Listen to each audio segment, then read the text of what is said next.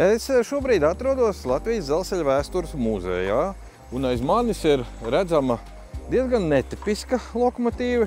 Uh, nu, vismaz tie, kas nav piedzīvojuši pagājušā gadsimta 60., 70., 80. gadus, noteikti šo lokomotīvu uh, daudz nav redzējuši, ja vien nav bijuši muzejā, jo nu, jau kādu laiku tā ir muzejā un vairs uh, aktīvajā, aktīvajā darbā nav iesaistīta. Tomēr eh, stāsts šodien tieši par šo lokomotīvi ir ar zināmu nodomu. Eh, pastāstīt par to, ka eh, arī padomju okupācijas laikā Latvijai bija sava lokomotīve un visnotaļ oriģināla gan no dizaina, pielietojumu un arī tehnoloģiju viedokļu.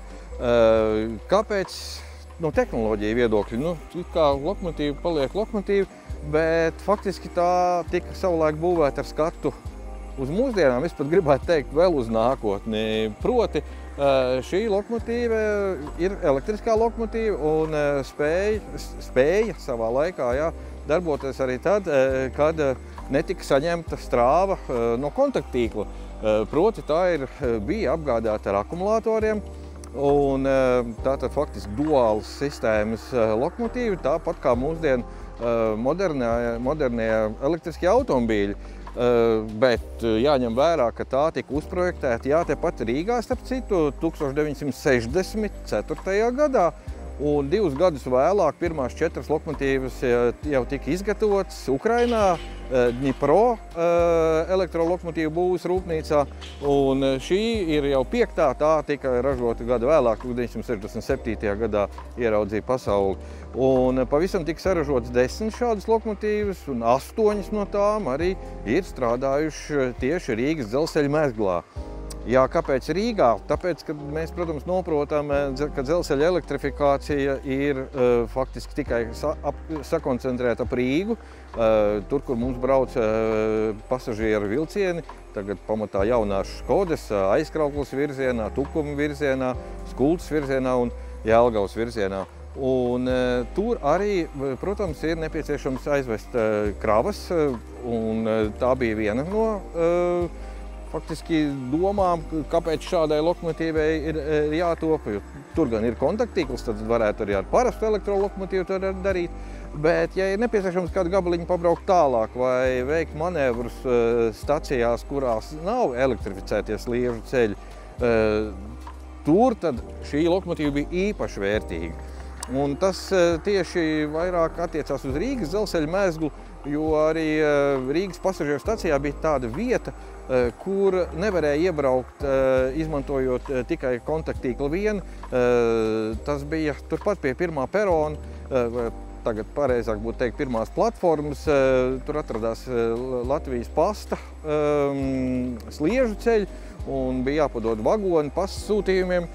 Tur bija jābrauc arī vietās, kur nav šī kontaktīkla. Un Tādās vietās lokomotīva bija ļoti vērtīga, jo arī gaisa piesārņojuma tā nekāda nerada. Vietējie iedzīvotāji, māju iedzīvotāji nejūt nekādu apgrūtinājumu. Protams, e, ne no zila gaisa šāda lokomotīva piedzima, jo eksperimenti ar akumulātoru vilcieniem, elektrovilcieniem e, Latvijā tika veikti jau no 50, pagājušā gadsimta 50. gadu beigām, un uz tā iegūtās teiksim, tā, e, e, eksploatācijas un novērojumu bāzes arī radās tā ideja, e, ka varētu arī elektrolokomotīvu būvēt pēc tāda paša principa. Ar laiku, nu, pēc šīs pirmās un, un arī nākamo lokomotīvu uzbūvēšanas Ukrainā tika atklātas dažas nepilnības, un tobrīd arī vēl nebija attīstījusies šī akumulātoru ražošana, eh, akumulātoru izmantošana, arī elektriskās ķēdes lokomotīvai bija diezgan smagnējas, tāpēc faktiski tā visu, visu laiku tika pilnveidot, un piektais numurs, tā, kas mums šeit ir muzejā, eh, arī tika faktiski nu, eh, vietējie Zaselauka lokomotīvu depo mehāniķi to noveda nu, līdz to brīdi varētu teikt līdz pilnībai. Eh, tā tika eh, aprīkot arī ar tiristoru impulsu mm, eh, palaišanas iekārtām, kas tika nomontētas savulaik no R12 sērijas elektrovilcienu. Jā, ar elektrovilcienu vēl šis tas ir kopīgs šai lokomotīvai, arī vilcis elektrodzinēji ir no R12 22 sērijas elektrovilcieni. Nu, šie dzinēji arī tika ražoti Latvijā. Tātad nav tikai Ukraiņas produkts vien. Uh, bet pats galvenais, ka mm, faktiski tika pierādīts, ka šāda te uh, akumulātoru izmantošana uh, pat tādos sarežģītos apstākļos, kad nebija iespējams iegādāties normālas akumulātorus padomu laikā, noveda pie tā, ka reāli šis produkts nostrādāja vesels 25 gadus, tad faktiski pilnu lokomotīvas darbu mūžu. Un mēs patiešām lepojamies, ka ir iespēja to apskatīt pilnā komplektācijā šeit, Latvijas dzelzceļa vēstures muzejā.